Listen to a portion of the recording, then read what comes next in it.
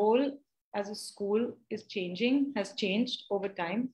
I think we, um, schools have now become um, places of education even for the parents. Uh, we, you know, that's, that's what's happened over time.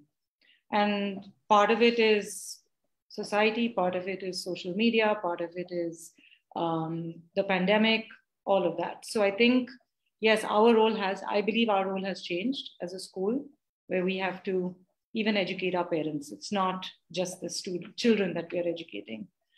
Um, and I think, you know, if you go back to the Maslow's hierarchy of needs, unless and it's, you know, the second level, right? This safety and happiness and security. So unless and until we can satisfy that, nothing else is going to happen. So I think we've kind of, we have to, as, you know, I totally believe in forgetting the, the syllabus. Actually, that word is even banned on my campus. I don't allow anyone to use that word syllabus. Um, it's about uh, curriculum and it's about learning and it's about guiding. So, what are we doing? How are we doing it? Is actually, I feel, more important. And I feel through the two years of the pandemic, I think we've got a really good insight into what's happening in people's homes. But there are, Rathi, the one, one question you rightly said that we need to involve parents in this entire journey right. and educate them also. But right.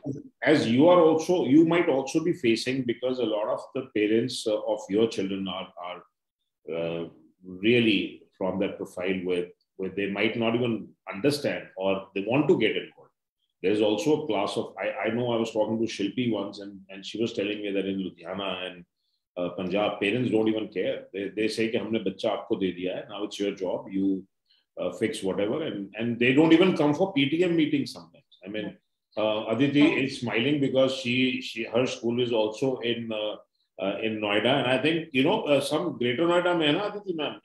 so I think parents don't even care. They say that hame mat samjhao.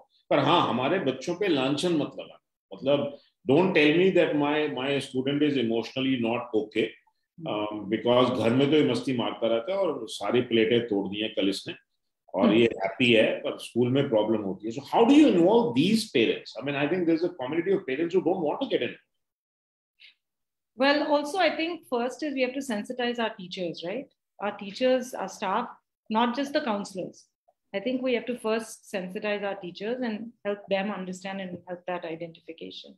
And the parents, I mean, yes, in my school, yes, the parents are um, not from, you know, we serve the underserved stu- children of Uttarakhand, but I will tell you, they are very engaged. They want to learn, they want to know.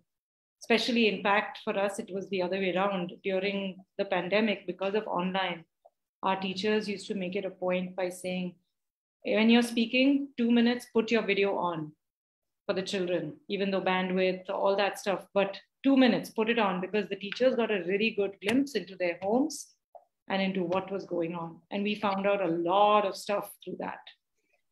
Lot of lot of things we found out about children that we didn't know before. And well, now we're following up on that.